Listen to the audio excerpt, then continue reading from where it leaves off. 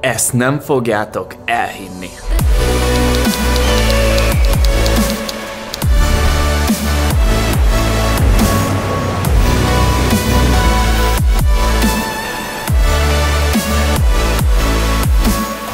Na jó, azért elnézést, ez kicsit sok volt, de így az utazás végére már engem is elkapott a sanyiláz. Meg hát nem leszek álszent, zseniális napot töltöttünk itt, na de kezdjük az elejéről. Hál a jó Istennek, hogy hoztam magammal forintot, mert valamit árulnak ennyire. Lángos, vagy sör, vagy mi? Na jó reggelt kívánok mindenkinek, szevasztok, üdvözlök titeket a Bahama szigetekről, egészen pontosan az Ocean K-ről, ami az MSC hajótársaságnak a saját szigete. Első benyomások a szigetről?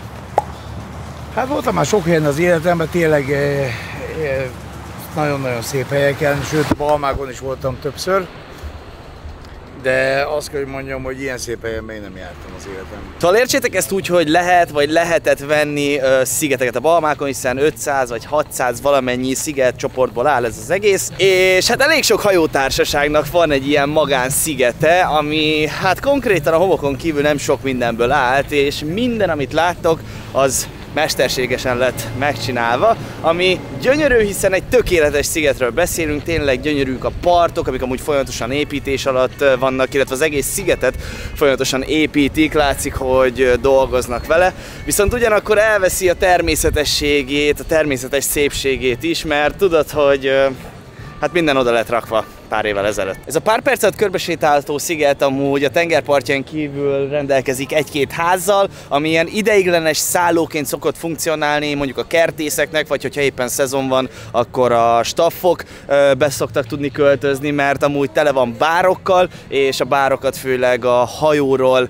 kijövő dolgozók szokták üzemeltetni. Annyival azt azért kiegészíteném, hogy nagyon hangulatosak, ilyen különböző színű, ilyen könnyű szerkezetes deszkából épített házikók vannak, ami nagyon pofás, és hát, hát én is szívesen ellaknék benne, na. Nem tudom, hogy mi lehet itt akkor, amikor szezon van, de most azért túlnyomó többségben itt dolgozó emberkék vannak, és tényleg uh, golfkocsikkal, vagy hát ilyen pici kocsikkal, meg kvadokkal járkálják a szigetet, jetskivel körbe-körbe járkál egy fószer, hogyha esetleg valakinek bármi baja történne a, a sziget körül. De így ezzel a csapattal, amivel mi jöttünk, nagyon-nagyon kis privát volt az egész sziget, és hát azért az MSZ-nek egy elég nagy hajójával vagyunk. Úgyhogy így annyi minden lehetőség nincs egy ilyen szigeten, itt tényleg az inkább, hogy legelteted a szemedet, élvezed a napsütést, élvezed, hogy a, a pahavákon vagy, mert hogy Hát mikor jut el az ember a balmákra? Hát még az is lehet, hogy soha többé. Éppen érzem magam mérhetetlenül szerencsés helyzetbe, amit lényegében nektek köszönhetek. Köszönöm nektek, hogy annak ellenére, amilyen kelekótya és olykor hanyag voltam a sok-sok év alatt, itt vagytok és segítettetek elérni az álmaimat. Igyekszem ezt nektek viszonozni ebben az évben is, hiszen nagyon fontos tagjai vagytok a csatornának, ahogyan fontosak a visszajelzéseitek is. Éppen ezért most a hajóútról érkezett leggyakoribb kérdéseket fogom megválaszolni, de továbbra is olvasom a kommenteket, ha esetleg a te kérdésed nem lett megválaszolva. Szóval, kezdjük is az elsőnél. Mi van, ha a városnézésből nem érsz vissza a hajóra? Most hál' Istennek ebben nem futottunk bele, és nem is tudunk róla, hogy bárki belefutott volna. Azért egyszer-kétszer elszalad az idő, ha éppen egy olyan helyen vagyunk, hát pár rum és sör hatására el tudod veszteni az időérzékedet. Viszont természetesen erre is fel vannak készülve, ugyanis a kiengedésnél alapjáraton a kis kártyádat a kiengedő rendszer beolvassa, és hát mielőtt lezárnák a kaput, látni fogják, hogy ki az, aki nem ért vissza a hajóra, és amikor felszállsz a fedélzetre, az, hogy tud használni az internetet, meg úgy elég sok mindenhez, hasznos a telefonos applikáció, és mindig arra buzdítanak, hogy töltsétek le. Szóval, ha ne Isten beleszaladsz egy ilyenbe, akkor az applikáció küld egy értesítést, hogy hello, hol vagy, gyere már vissza, vissza, hát ki fogunk hajózni, és hogyha utána se, akkor még mindig megvan a telefonszámuk neked, és hogyha arra se reagálsz, akkor ott ragadtál.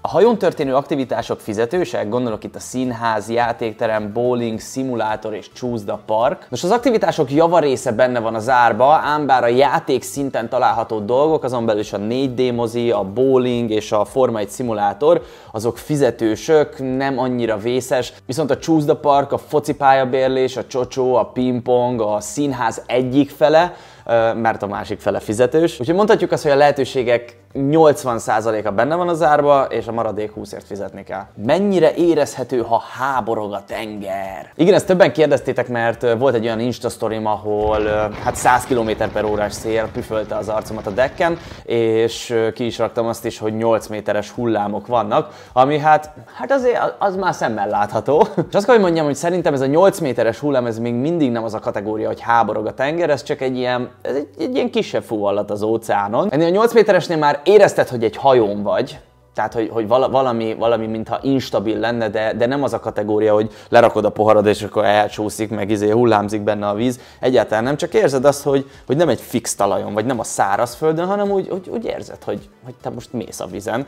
De az, hogy a tengeri betegség kerülgetne, vagy bármi ilyesmi, ilyet mi nem tapasztaltunk. Előfordulhat, hogy még ennél is nagyobb hullámokkal találkozik a hajó, arról nem tudok uh, nyilatkozni, de, de 8 méterig stabil. Milyen eszközökkel készültek a tartalmak? Most a felvétel javarészt az én A7S3-am és a 17-28-as Tamron objektívemmel készültek, sajnos nem volt másodlagos objektívem, amit bánok, viszont ez már egy új és majd a Snowteges videóban be fogom nektek mutatni, illetve amikor Matyival Amerikában voltunk, az ibetűre kattítom meg tudod nézni, ott bemutatjuk igazából az egész eszközparkot, nem igazán változott, talán a drón az, ami újult, illetve az én Zsolti barátom, akit láthattatok, hogy ott volt velem, ő nagyon sokat segített a felvételekbe, ő drónozott, ő egy Mavic R2-vel, dolgozott, illetve ugye az avata felvételek azok, azok még nem lettek, még nem lettek felavatva, viszont ez az év még tartogathat meglepetéseket. Úgyhogy én is nagyon szépen köszönöm Zsoltinak, hogy az egész út alatt segítette a munkámat, és kamerázott az én kamerámmal, hogy drónozott, hogy a telefonjával csinált különböző vágóképeket, úgyhogy abszolút hozzátett ezekhez a tartalmakhoz. Köszönöm szépen, itt találjátok az Instagramját, szokott csinálni mindenfajta szupi videót, úgyhogy dobjatok rá egy követést. Ha megveszem az internet csomagot, az az Atlanti óceán közepén is működik? Ezt hagytam a végére, mert talán a legizgalmasabb kérdés, és számomra is egy ilyen felfoghatatlan dolog volt. Mi megvettük az internetcsomagot az egész útra, ami nagyjából 200 euró volt, de lehet napi lebontásba, heti lebontásba, ahogy csak szeretnéd, és annyira hihetetlen volt, hogy milyen műholdakkal vannak ezek a hajók felszerelve, de konkrétan az Atlanti óceán kellős közepén videóhíváshozni tudtam akadozás nélkül. Úgyhogy számomra ez egy felfoghatatlan dolog volt, és egyáltalán nem vártam nagy csodákat ettől az internetcsomagtól, gondoltam elküldi az üzeneteimet, és akkor jó napot kívánok, de nem, akadozás nélkül ment a videóhívás több ezer kilométerre mindentől.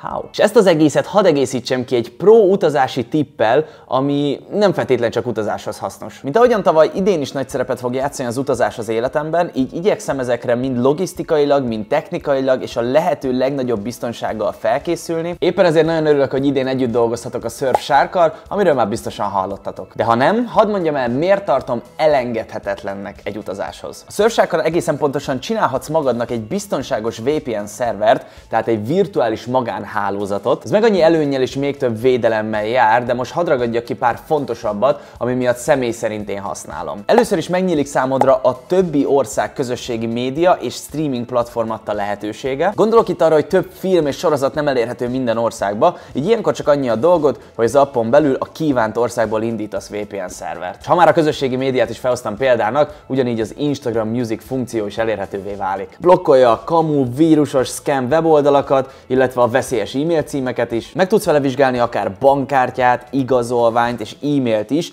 de ami a legfontosabb, vedd úgy, hogy láthatatlanná válsz, nem fognak tudni lehallgatni, és nem kell félned a targetet hirdetésektől, sem pedig az adathalászoktól. Úgyhogy éppen ezért mondom, hogy ez nem feltétlen csak utazáshoz kapcsolódik, mert hát már jó magam is részesültem egyszer-kétszer csúnya átverésekbe. Úgyhogy a leírásba le fogok rakni egy linket, ami az én linkem, és hogyha ezen keresztül regisztráltok, illetve aktiváltok a fiókotokat, akkor 83% kedvezménnyel, valamint 3 ingyen hónappal kezdhetitek. Az applikáció iOS-ra és Androidra egyaránt, gépre pedig szintén Windowsra és Macintosra is kompatibilis, úgyhogy vigyázzatok a cuccaitokra, használjátok.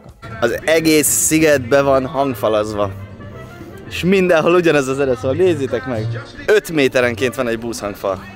Bose. Na és ami óriási pozitívuma még ennek a szigetnek, hogy mint említettem, ez az MSC magántulajdonában van, így hát minden, ami itt található, bérlések, éttermek, bárok, azok szintén az övéké, és a dolgozók is a hajóról jöttek, reggel még ott dolgoztak, ma már itt kint, és hát ez nagyon király ugyanis, hogyha vettél bármilyen italcsomagot, azt itt is le tudod fogyasztani a külső bárokba, valamint itt van ez a büfé, ahol szintén ugyanazokat az ételeket tudod megkapni, amit a fönti büfébe. Nagyjából ugyanaz a választék, bár azért nincs annyi hely, és hát így is meg fogod találni azt, amit keresel. Hol vannak a cápák, he? Paradise Center, és akkor itt van. Paradise Centernél vannak a cápák. Paradise Ah, tényleg vannak cápák? Ja, nem, delfin. Delfin. Hát ez Oh. minek nézed, attól függ. Delfing. Nézőpont, jó, menjünk ide akkor.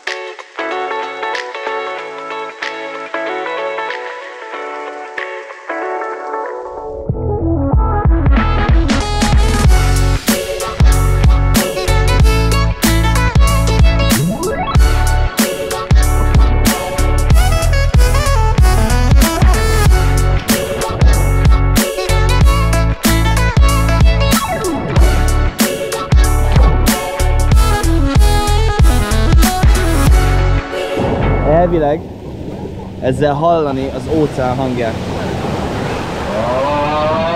Jogos, nem igazán volt mit kipihennünk így az utolsó napunkon, de mégis ezzel telt az egész nap. Mivel konkrétan program lehetőség nem volt, vagy legfeljebb csilliárdokért, így hát bármennyire nem tartozik a kedvenceim közé, ezt a napot 100%-ig fürdéssel és napozással töltöttük. Valljuk be, néha kicsit pucparádénak tűnik ez az utazás, bár a helyszínek adják igazából ezt a ezt- ezt az egész jelenséget. És ahogy a többi utazás is, ez is egy kicsit vegyétek úgy, hogy tágítsátok az elméteket, és kicsit nyitottabbak legyetek a világra. Most is annyival belementünk a piszkos matematikai dolgokba, mert nyilván ez mindig kérdés, és nem akarjuk titkolni, hogy hogy ér lehet kihozni. Nyilván sokkal olcsóbban is, mert nettó 770 euróért volt meghirdetve a, a belső kabin, és ugye abban még nincsen benne a kötelező borra való, meg úgy semmi. Tehát mondjuk azt mondom, hogy bruttó 1000 euróért lehet minimalistaként megoldani ezt a három hetes hajótripet, amin mi voltunk. A mi csomagunk egy kicsit komolyabb, mert van erkély, internetcsomag, illetve italcsomag. Így a piszkos matekra úgy jött ki, hogy nekünk fejenként napi 50 ezer forint, és ez most lehet, hogy erősen hangzik, de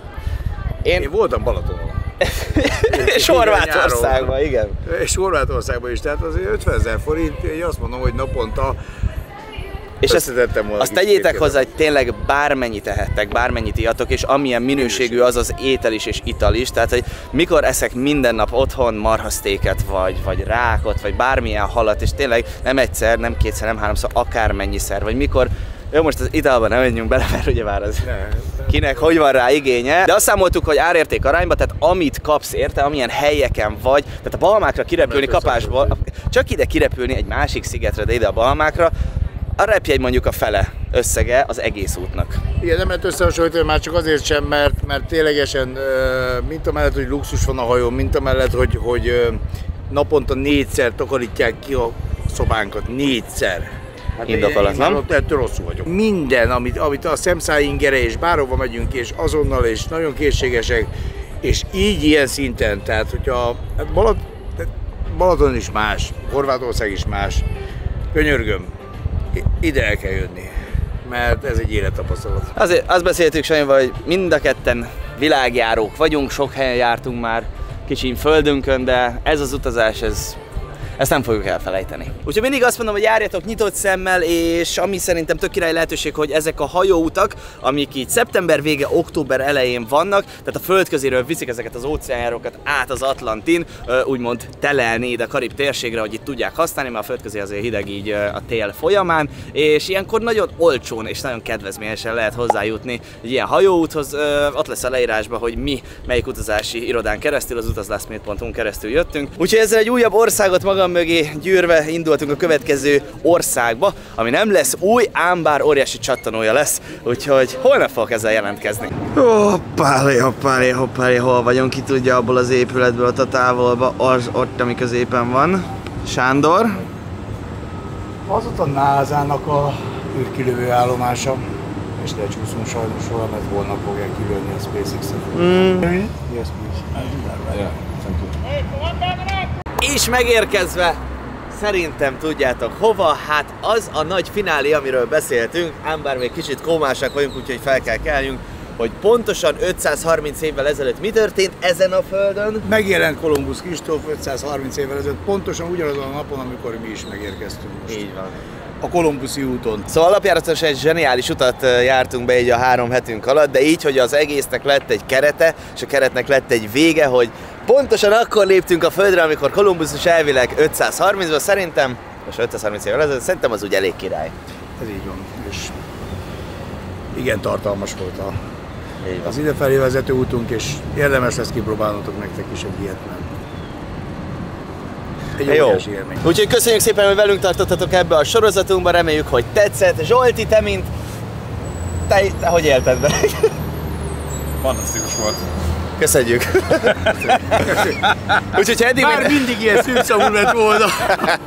ha eddig még nem láttátok az előző részeket, akkor az imetűre kattintva meg tudjátok nézni, van egy lejátszási lista. A következő napokat, heteket, hónapokat ezen a földön fogom tölteni, úgyhogy videóból lesz bőven, addig is iratkozzatok fel. Peace!